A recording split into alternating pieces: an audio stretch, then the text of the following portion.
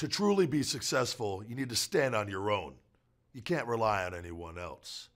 It also helps to be big, like the big guy Ryback, because size does matter. Don't let anyone tell you differently.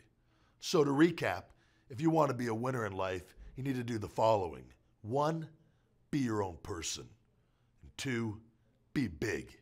So, get to work on that. What are you waiting for?